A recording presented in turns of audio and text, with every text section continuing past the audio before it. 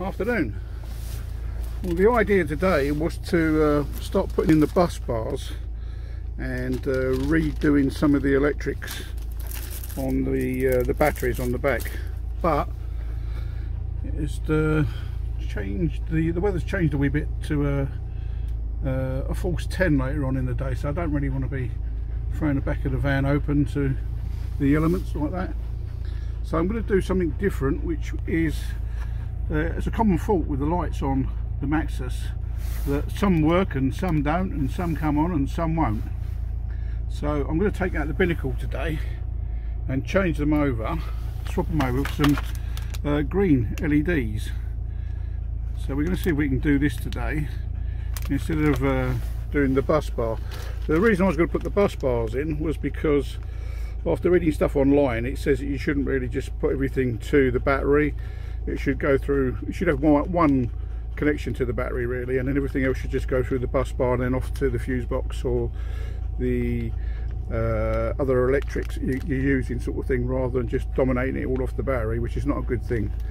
So I was going to do all of that but instead uh, we're going to play with the the lights today. We're going to play with the dashboard lights and see what we can come up with see if we can fix these.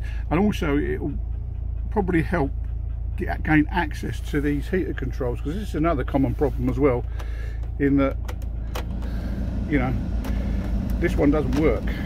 It will it will literally just stick on the windscreen and nowhere else.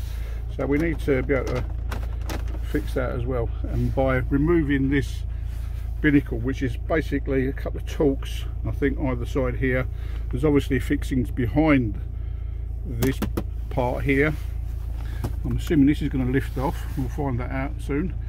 And then from that we should be able to, get to gain access above and then looking down. And see if there's anything that's come off or we can reconnect or something that we need to order. So that's the plan for today anyway to do these lights get these lights fixed up. So the first thing I discovered was it's an Allen key rather than a Torx so that was a bit of a surprise. So I don't know if these have been uh, taken out before maybe and refixed with just these little Allen bolts. But uh, I was ex expecting for, uh, them to be Torx screws but we'll, we'll, we'll carry on. Right so having taken out these two uh, Allen bolts it looks like they've been changed over to be honest. Uh, you then have to put a pry bar underneath lift up this unit and also from the top there's some little clips at the top here where they the uh, either corner fits into which then gives you access to all the electrics behind here. Now we're not going to interfere with anything behind here other than uh, we're going to get access to the the tops of the the heater controls and things like that. Just want to indicate go around the corner in a minute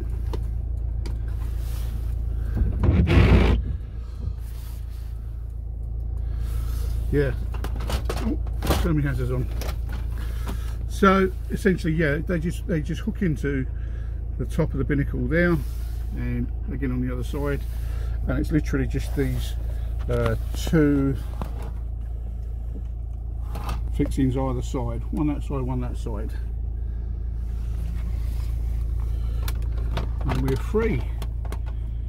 Uh, and that's it. Yeah. So now we're going to take out these. They look like they just look like Phillips to be honest. I don't know there's a, there is a there's a Torx at the top there. And they look Phillips at the bottom. There seems to be a mix and a match here so I'm guessing that maybe at some point in time this has been out already. So just to give better access there are three electrical connections on the back of the uh, unit.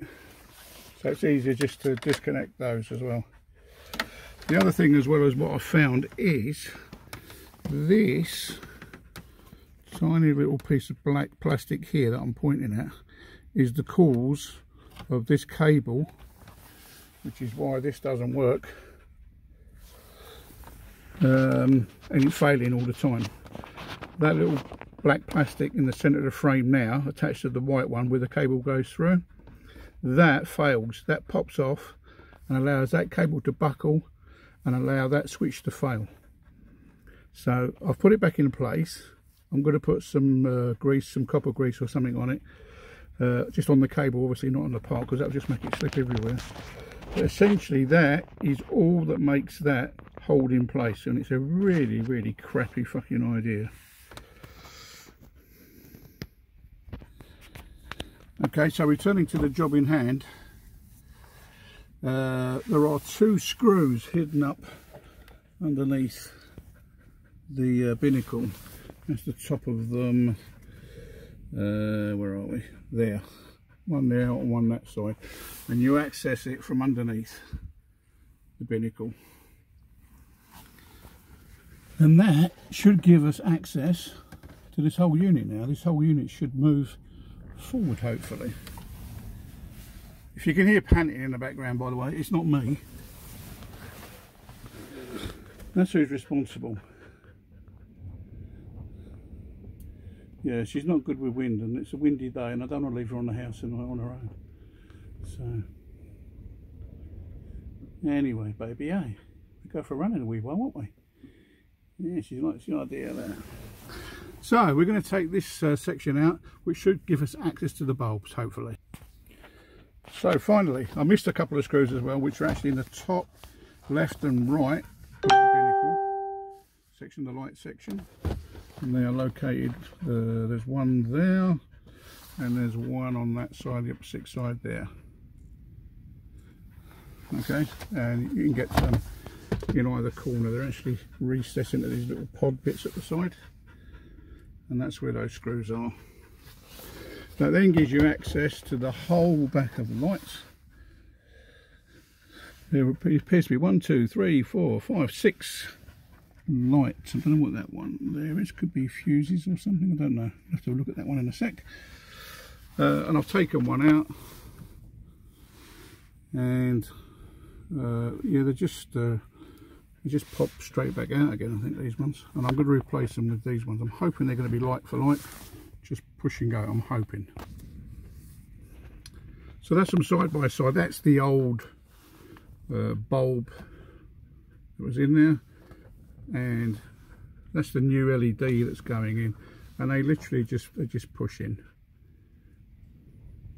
I'm hoping because they're the same sort of size and that they're going to have the same sort of clearance and they should just slot in and work. But I'm going to test uh, everything before it actually goes all back together again obviously. But that's what they look like side by side. So one bulb and one LED okay so I swapped them over and what I discovered was that these along with the unit in the back of this the holders they actually only fit in one way around. Um, otherwise it looks like they don't work when in actual fact they do. So when you're putting them in and they lock and it doesn't work it doesn't mean to say it's faulty. It looks like there is only one way that it actually goes in. Although it will lock in place two ways there is only one way for this to go in and work. So that would appear to be another problem as well. So when this has been previously done or uh, they changed the lighting over or something I'm guessing that they put some of these, at least two of these in the wrong way round. So let's have a wee look. We're going to turn the lights on and see what it looks like. So I've chosen green. They were originally, um, I'm guessing these were just clear, although they look a blue. So they should be green.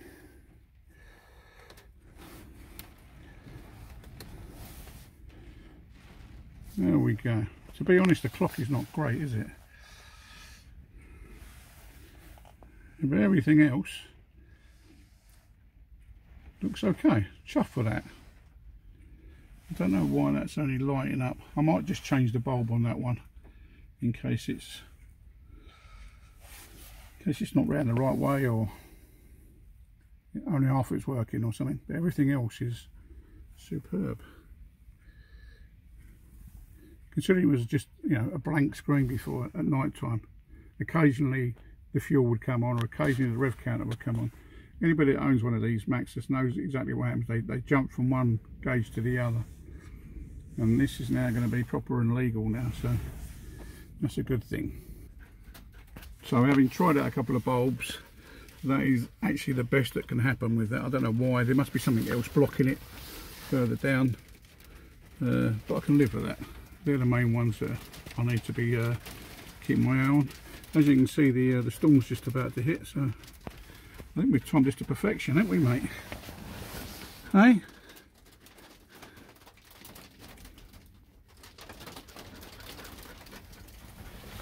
So we're going to put all this back together.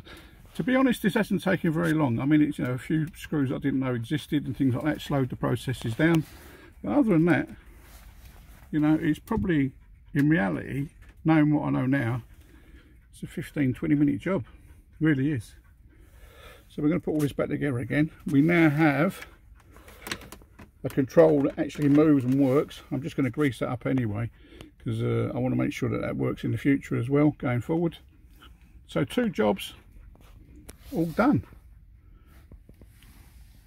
Very, very industrious today. Very industrial. Also, we're going to give this a bit of a clean up too because it's a bit manky behind here, isn't it? Yeah, don't want all that rubbish blowing in our faces. Uh, yes, somebody asked what this was. It's actually a 10 uh, watt uh, charger. So it just charges the battery via the cigarette lighter. Uh, when it's sunny, obviously not on a day like today, eh? that's what it does. It just uh, sits there and just uh, trickle charges the battery when the van's not in use, which is more often than not. Anyway, I'm going to leave it there. I'm just going to put everything back together again. So you've seen how it all comes apart. It is really, really easy. It is literally just a couple of screws here, there, putting the binnacle back on top, putting the heater controls, everything back together here, plugging this back in, only three of them. You can't go wrong, they're all different. Screw it back together again, job's a good one. So there we go, and we have working lights. Look at that. Right, so LDV Maxus, new lights, new heater controls, all working. Yeah.